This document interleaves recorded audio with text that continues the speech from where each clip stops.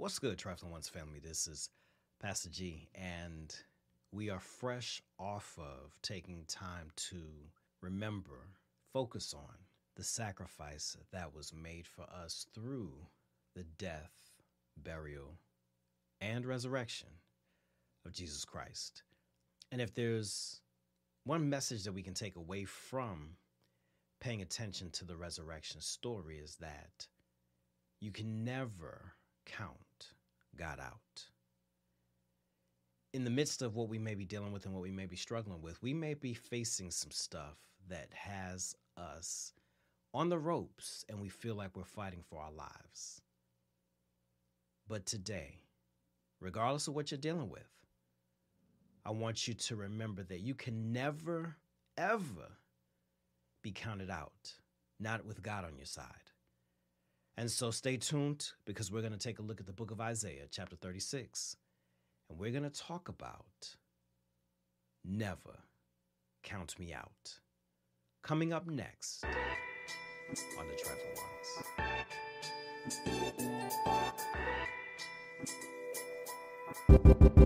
Ones.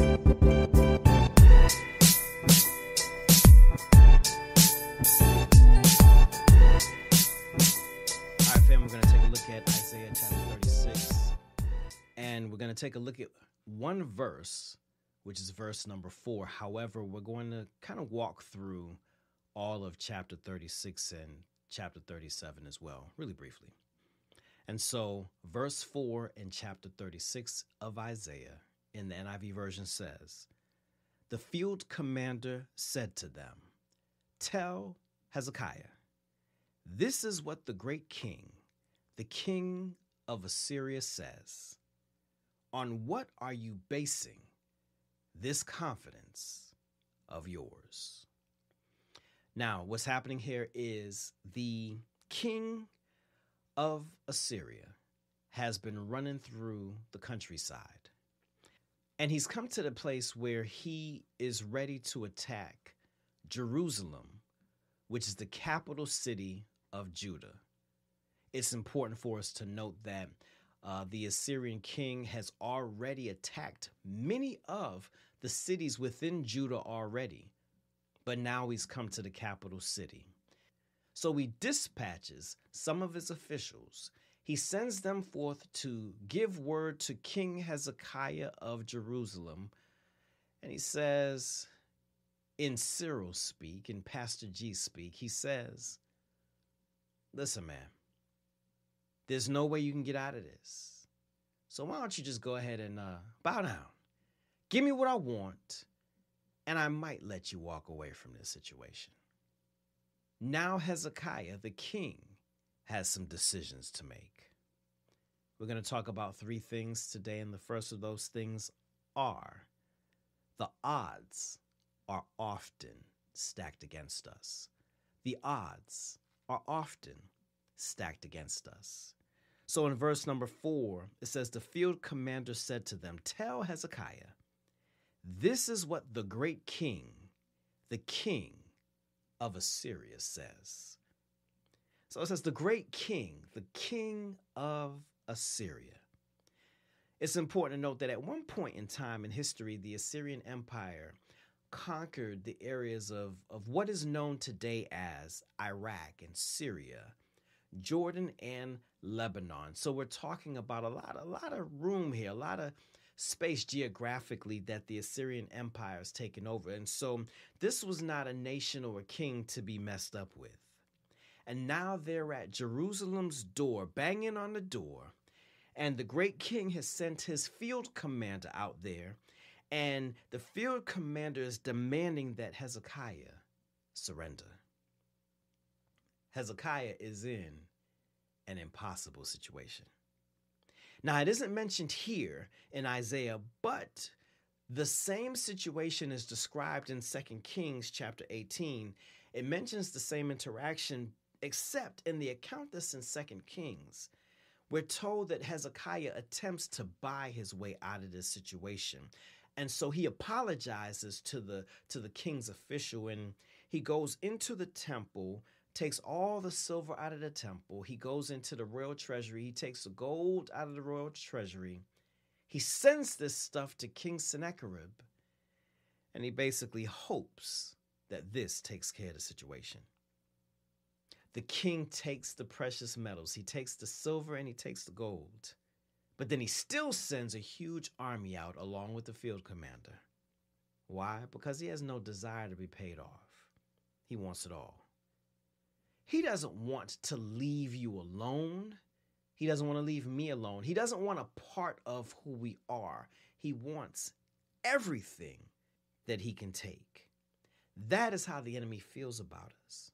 So the enemy may make you feel like he's all right with uh, settling with a small part of you for, for, for a time. He makes it seem like if you negotiate with him, that he'll take what you're willing to give and be all right with what you're willing to give. But it doesn't work that way. He's coming for everything. He's coming for your marriage. He's coming for your family. He's coming for your kids. He's coming for your health, your mind, your peace, your possessions, your honor, your integrity, your morals. He wants it all. Do not attempt to negotiate with the enemy. So Hezekiah, he's given up some stuff to try to appease the enemy, only to find out that his stuff has been taken and he's still in the same exact situation. He's facing a forceful enemy, and this enemy plans on decimating him. So the odds are often stacked against us. But then the second point is this the obedience is often what separates us. So the king's field commander, he's just reckless with his mouth and he starts talking directly to the people and, and he's like, Don't don't let Hezekiah get y'all hemmed up. He says, Don't be misled. Don't be deceived by Hezekiah when he says that the Lord will deliver you. But this is where the field commander messes up. See, he's talking trash to Hezekiah and he's he's talking trash to the people of Jerusalem. And he's probably right because Assyria could easily thrash Jerusalem. But now he's talking about what God can and what God can't do. The people of Jerusalem don't respond. In fact, the king later on uh, sends a letter to Hezekiah. And this is what it says in, in Isaiah 37, verses 10 through 13. I'm going to read this. It says, Say to Hezekiah, king of Judah, do not let the God you depend on deceive you when he says, Jerusalem will not be given into the hands of the king of Assyria. Surely you have heard what the kings of Assyria have done to all the countries, destroying them completely. And will you be delivered? Did the gods of the nations that were destroyed by my predecessors deliver them? The gods of Gozan and Haran and Rezeph and the people of Eden who were in Tel Assar? Where is the king of Hamath or the king of Arpad? Where are the kings of Lair and Sepharvaim and Hena and Ivvah? He's basically saying, look, we've run through this spot. We've taken all the gods out. What makes you think for a moment that we will not shellac you and your God. Bear in mind that he sends this letter after he's already taken Hezekiah's stuff. So, how does Hezekiah respond this time? Hezekiah goes into the temple to pray. And he sends his officials to the prophet Isaiah. He goes to get that quiet time in with God, but he also says, I need some spiritual reinforcements. He says, I need somebody who I can trust with what's going on. Somebody who won't take my despair, and my depression, and run to somebody else and share it. Somebody who won't secretly be glad that I'm facing some real stuff here. Somebody who cares and empathizes and wants to see me come out of this. Somebody who can see that I'm sinking into depression and is determined to see me through. Hezekiah recognizes that obedience to God is the answer on this go round. So, maybe you tried a different solution last time. You relied on or you depended upon somebody. You tried your own ingenuity. You you convinced yourself that you could outsmart the enemy. You acted out of emotions like fear or dread, anger, depression, or despair. Or maybe even arrogance because you thought to yourself, I got this. Only to realize that you made it 10 times worse. Well, obedience is what often separates us from everybody else. Operating in prayer and being spiritually led when it comes to our decisions. But then we have our third and final point, which is the omnipotent is always who saves us. The omnipotent is always who saves us. Om- omnipotent means all powerful. So the field commander in person and the king Sennacherib by way of letter have both said, What makes you think that you can come out of this without having to bow down to me? So God responds to Hezekiah through the prophet Isaiah. He does this in verses 22 through 35 of chapter 37. But here it is, the last three verses of that, meaning verses 33 through 35, says this Therefore, this is what the Lord says concerning the king of Assyria. He will not enter this city or shoot an arrow here. He will not come before it with shield or build a siege ramp against it. By the way that he came, he will also return. He will not enter this city, declares the Lord. I will defend this city and save it for my sake and for the sake of David, my servant. God, the omnipotent one, the all powerful one says, I will take care of this for my sake, because my name is on the line. I know that you tried it your way, but now he's questioning my integrity. He's questioning my strength and my faithfulness. He's questioning my power. And I got to let him know. So, that person who has shaped their mouth to dog you out, let God handle them.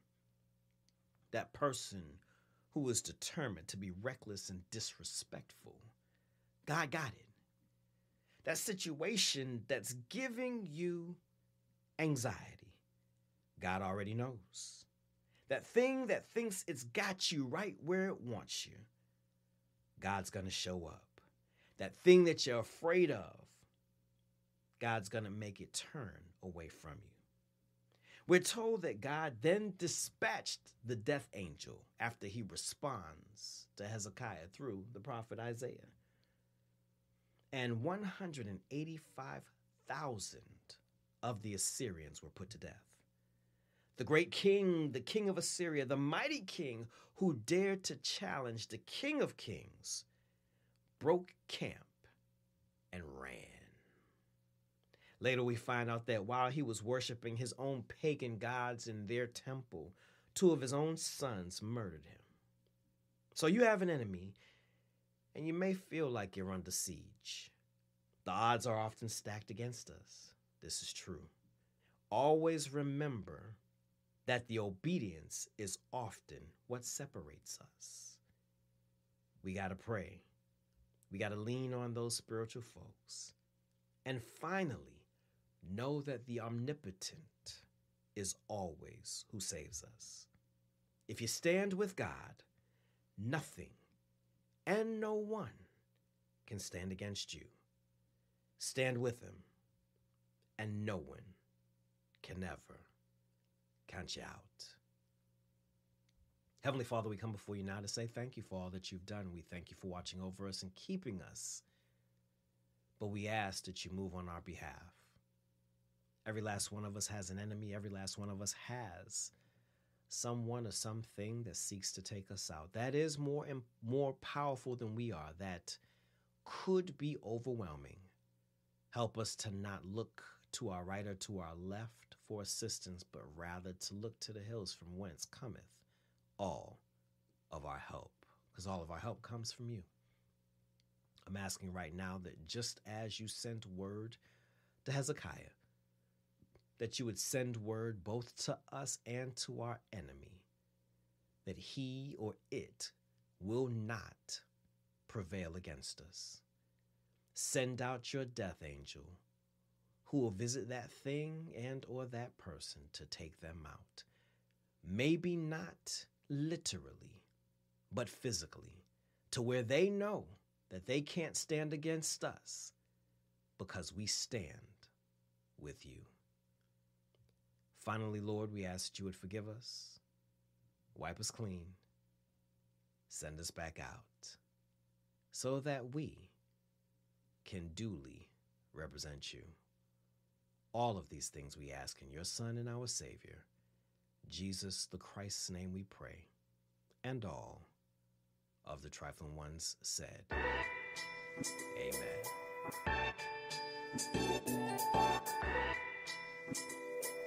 Música